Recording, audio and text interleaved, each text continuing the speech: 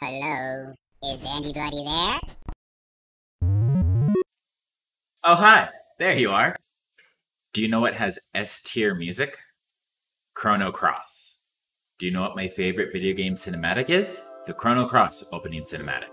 As a kid, I played it over and over. How good does it look on a modern screen, though? Well, it can look pretty muddy or gross with the wrong gear. But with the right equipment, you can get a smooth 1080p upscale direct from real hardware.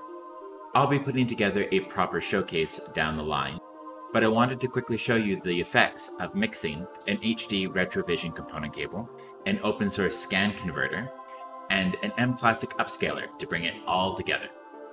Enjoy!